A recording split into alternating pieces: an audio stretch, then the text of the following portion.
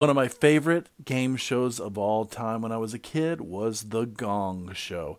This show was on from 1976 to 1980, the original version at least.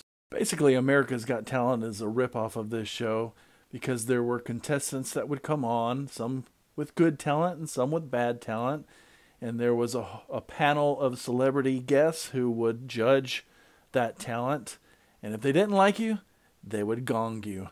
The big difference was the celebrity guests on the Gong Show were very goofy and they would always try to stop one another from hitting that gong. Or if the talent was bad, they would try to get you to hit that gong. It was hosted by the very strange but likable Chuck Barris, who was also a big time producer of shows like The Newlywed Game and The Dating Show, who was also supposedly a CIA operative he had a very strange habit of clapping his hands at uh, different times, and he pointed at the camera quite a bit. Even as a kid, I thought he was a little strange, but I thought the show was hilarious, and I always looked forward to seeing who would make it or who would get gonged.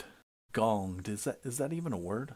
A bit of trivia about the show one of the producers said that they had a lot of prostitutes in the area try out for the show because they could make more money on one day on the Gong Show than they could of a whole week of hustling. When they were headed to commercials, he would always say, We'll be right back with more stuff after these messages.